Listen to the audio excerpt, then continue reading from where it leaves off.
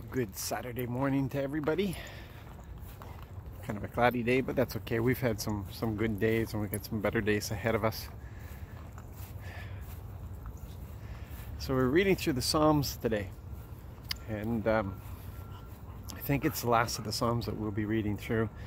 And, and uh, what a course of, of of praise, thanking God for what He's done and, and who He is, and you can almost imagine the throngs and throngs of people all around that temple, all gathered in, all the sacrifices that are going on, the singing that's going on, the, the multitude, the, the, the thankfulness, uh, recognizing that Israel exists only because of Yahweh.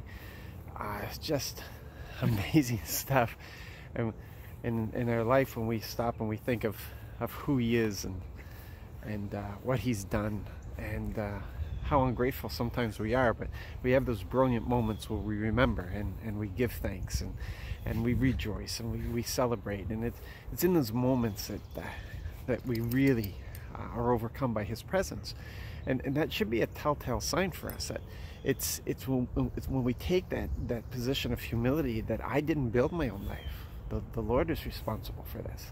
It's by His blessings, by His love, by, by His might, by His strength that, that this has all been done.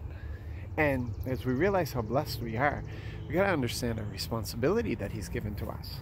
Uh, he, he, his Father's heart is revealed in these these psalms as we we read about. Um, uh, you know, he he how he defends the defenseless and and uh, he looks after the orphans and, and, the widows and, and the, the immigrants and, and, and the, the sick and, and the lame and, and all that and that, that he's there for them He's there for them. He's their father. He looks after them. He he he especially. Um, it's the reason why when Jesus walked through the crowd, he, he reached out to those who are in need, because uh, it's the Father's heart. It's, we see it all through the, the Old Testament. Uh, we see it in the life of Jesus.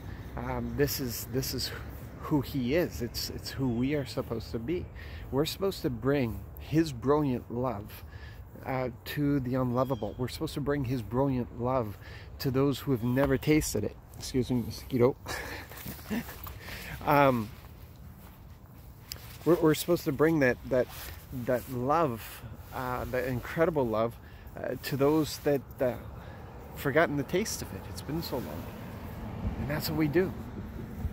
And yeah, that's the purpose for our day today find those who are who need that love. A touch, a smile, an act of kindness. It's incredible how it opens the doors. And uh, it's a manifestation of the Lord's love through us. And it's love that moves. It's it's relationships that move. Um, we can do all kinds of miracles, but if there's no relationship, uh, there's going to nothing's going to happen. We can preach the best sermons, but if there's no relationship, nothing's going to happen. Uh, we can have the best social programs being run out of our out of our churches, but if there's no relationship that comes from that love, then what's the use? So, be brilliant today. Engage with somebody today. Talk with them. Hear them. Listen to them and uh, then you'll know how to show the Lord's love to them. God bless.